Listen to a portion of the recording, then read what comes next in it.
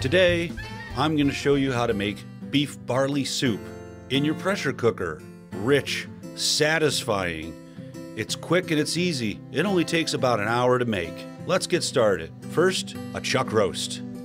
Cut the chuck roast into about three large chunks.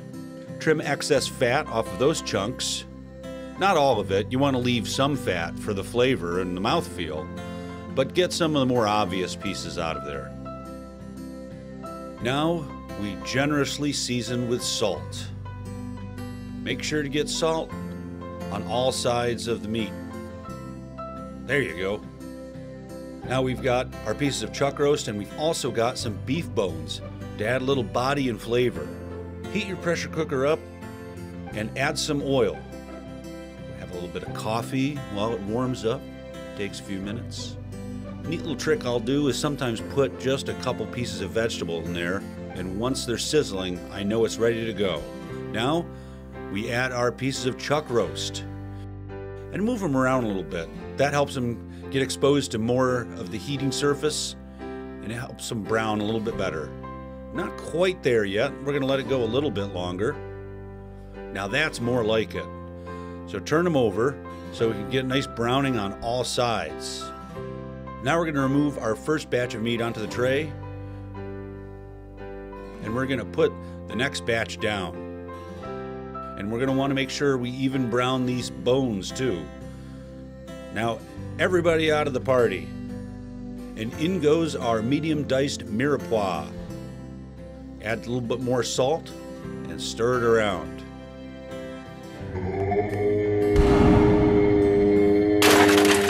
This looks like better tool for stirring in this case.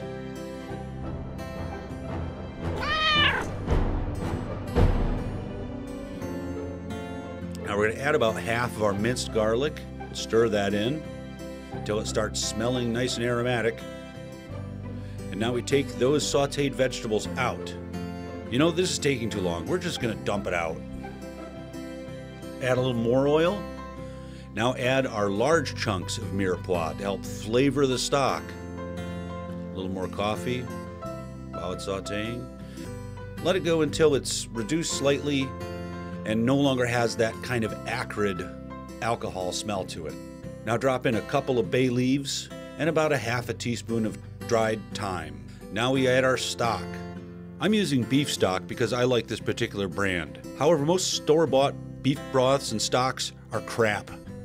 So if you can't find one that you actually like, just stick with chicken stock instead.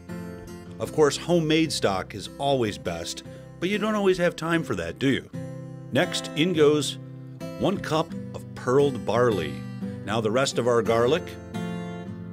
And now we're going to add all that brown meat. And here you see I cut the chuck roasts up into smaller bite-sized pieces off camera because I forgot to do it on camera. Oh well. Now we give everything a good stir and make sure it's all combined. Now we're going to put in a hearty dose of Worcestershire sauce. Give everything a good stir again. Now we close the lid and lock it. We're going to set it for high pressure for 30 minutes. And hit start and walk away. That's the beauty of countertop electric pressure cookers. Set it and forget it. Isabel? Isabel? Now we release the pressure by turning that release valve. Make sure to keep your fingers out of the way so it doesn't get blasted with hot steam. Safety is always first. When that red pressure valve drops, then it's safe to open the pressure cooker. Oh, look at that. I wish you could smell this. We're going to get rid of our large mirepoix chunks, which have done their job and are too soggy to use. And we're also going to get rid of those bones.